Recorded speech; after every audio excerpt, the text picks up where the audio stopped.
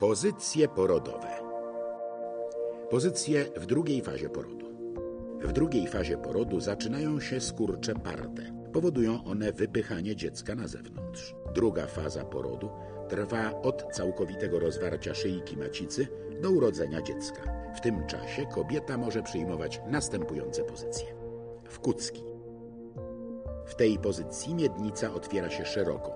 Ułatwia to przemieszczanie się główki dziecka. Parcie jest bardzo dobrze odczuwalne przez rodzącą. Długie parcie w tej pozycji może prowadzić do opuchnięcia tkanek krocza, co zmniejsza jego podatność na rozciąganie. Ponieważ krocze jest mocno obciążone, urazy mogą być większe. Pozycja na czworakach. Kobieta klęczy podpierając się na dłoniach. Klęcząc, lekko rozstawia nogi.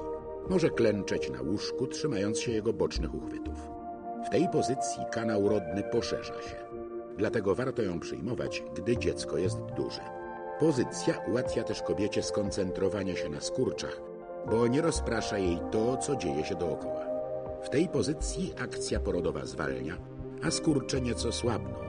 Dlatego nie poleca się jej kobietom, u których akcja porodowa przebiega zbyt wolno. Dodatkowo pozycja ta sprzyja ochronie krocza. Pozycja leżąca. Kobieta leży na łóżku porodowym lub przyjmuje pozycję półsiedzącą z nogami na podpórkach. Pozycja leżąca umożliwia kontrolowanie akcji porodowej i ułatwia ewentualną interwencję medyczną. Pojemność miednicy jest mniejsza, ponieważ kość krzyżowa i guziczna są uciskane i nie mogą odgiąć się do tyłu. Ponadto kobieta musi wykonać większą pracę niż w pozycjach pionowych, gdyż nie sprzyja jej siła grawitacji. Dodatkowo główka dziecka uciska mocno na odbyt i napina krocze, co zwiększa ryzyko pęknięcia.